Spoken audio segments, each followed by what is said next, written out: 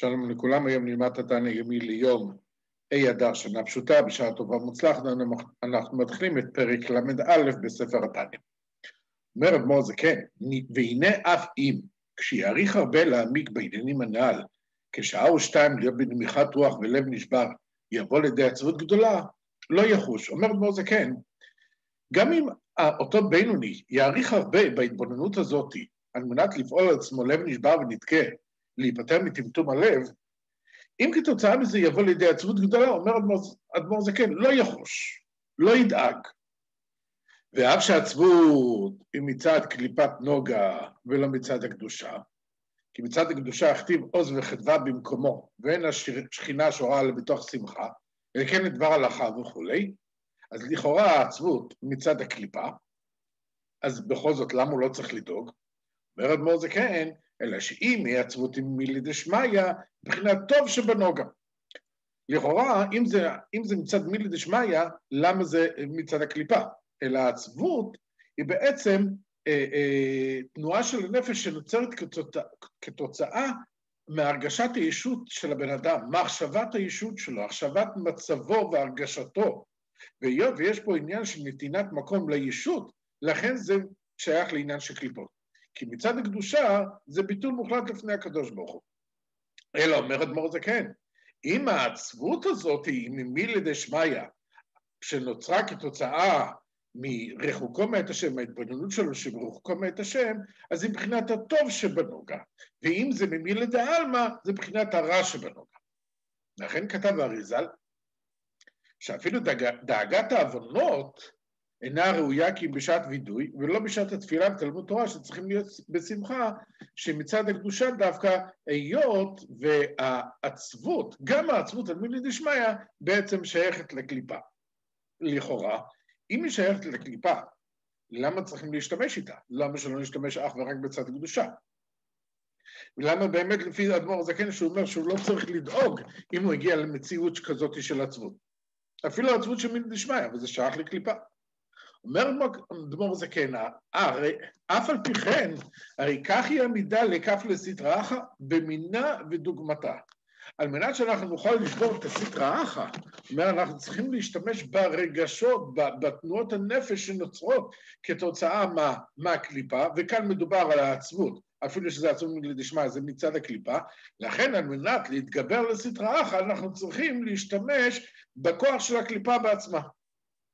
כמאמר הז"ל, מינהו בי איבא לשדה בן נרגה. זאת אומרת, כאשר הגרזן בעצם הוא, הידית של הגרזן היא מהעץ עצמו שאותו חוצבים.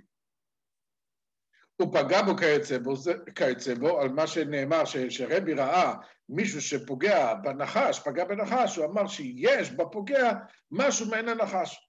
זאת אומרת, על מנת לפגוע בסטרא אחת, אנחנו צריכים להשתמש בעצמנו בכוחות הסדרה אחת. ועל זה נאמר, בכל עצב יהיה מותר.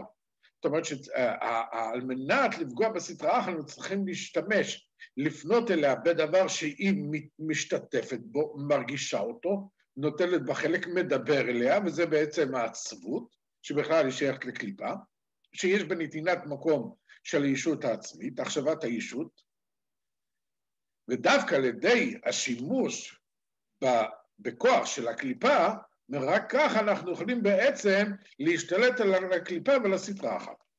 ועל זה נאמר בכל עצב וימותה, וזה בעצם התועלת של, ה, של העצב, ושעל ידי זה באמת אפשר יהיה להתגבר לסטרה אחת, והיתרון היא השמחה הבאה אחר, אחר העצב כדלקמן, כמו שהזכרנו בפרק כ"ו.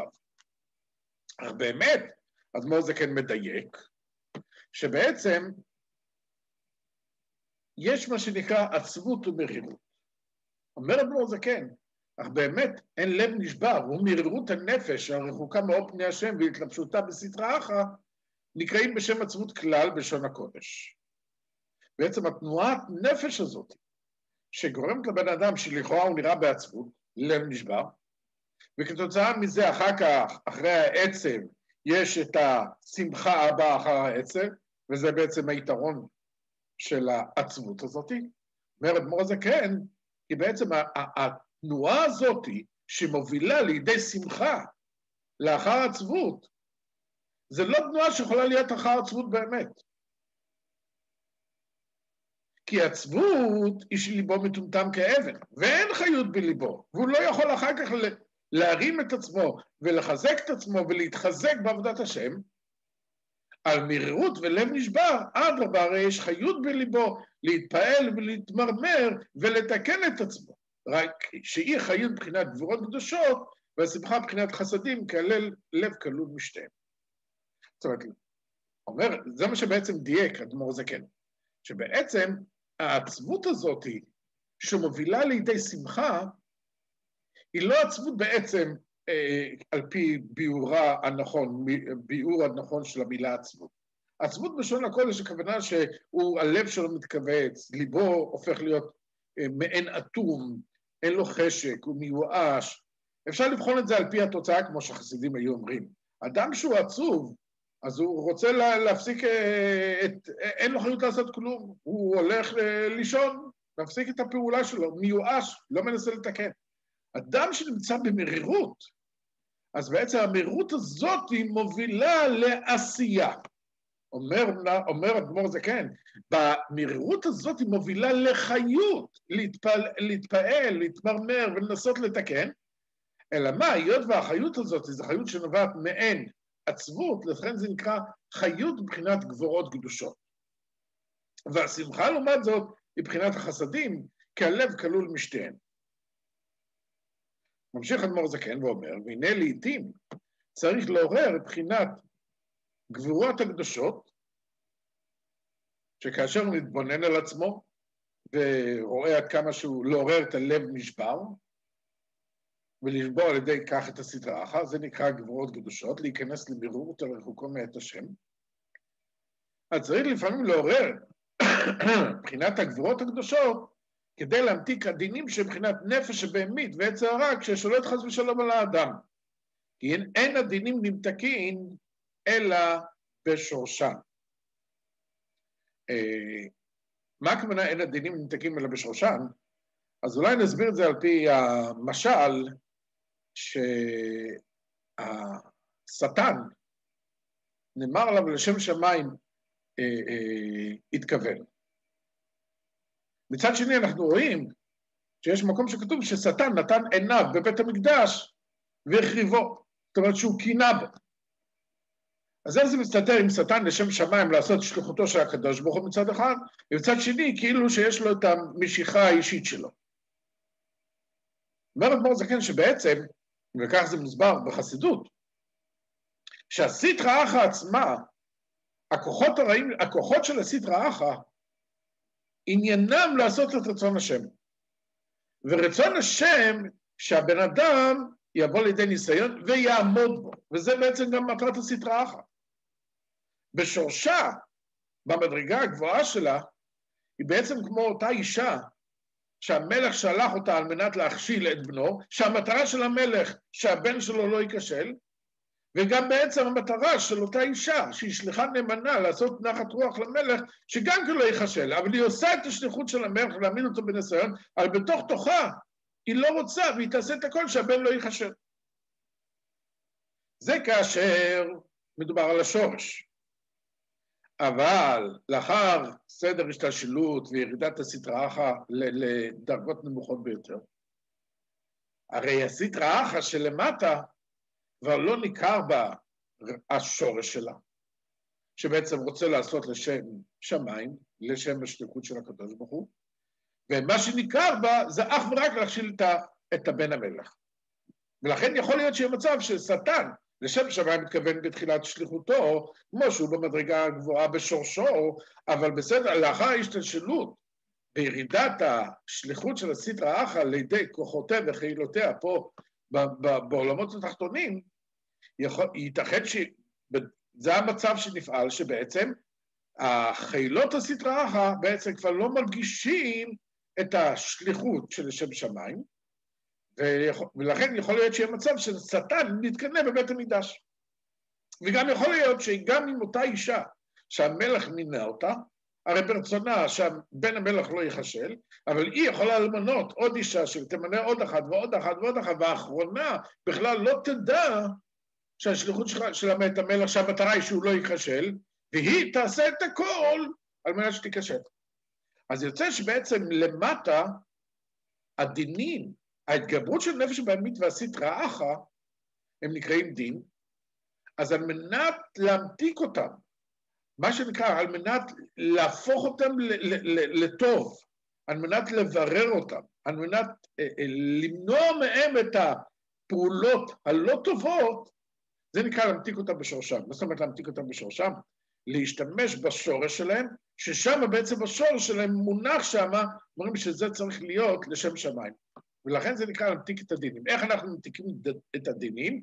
כאשר אנחנו משתמשים באותה שיטה של הדין כנגד הסטרא אחת. זה מה שנקרא לעורר בחינת גבורות קדושות. כי אין הדינים נמתקים בשורשם. לכן אמרו הז"ל לעולם ירגיז אדם יצר הטוב. והיינו בכל עת שרואה בנפשו שצריך לכך, אז הדרך היא בעצם להשתמש בגבורות, ברוגל ששייך לסטרא אחת, וזה בעצם על ידי זה הוא פועל ושובר ומכניע את הסטרא אחת, כי הוא, על ידי זה הוא מגלה לה את השורש. איך הוא מגלה לה את השורש? בעצם אדמו"ר זה כן מסביר. שהסטרא אחת עצמה, הנפש בהמית, לא, לא כל כך אה, אה, תימשך לענייני קדושה. אבל ברגע שהבן אדם פועל עליה, לב נשבר, המציאות שלה נשברת, כתוצאה מזה שהמציאות שלה נשברת בגלל ריחוקו מאת השם, אז בעצם מתגלל בשורש, כן, שממתיק אותה, שהשורש שלה, שגם לשם שמיים, גם היא צריכה לעשות לשם שמיים, גם נפש בהם היא צריכה להסכים עם רצון הנפש האלוקי. וזה כתוצאה מזה שלעולם ירגיז אדם יצר טוב על עץ הרע.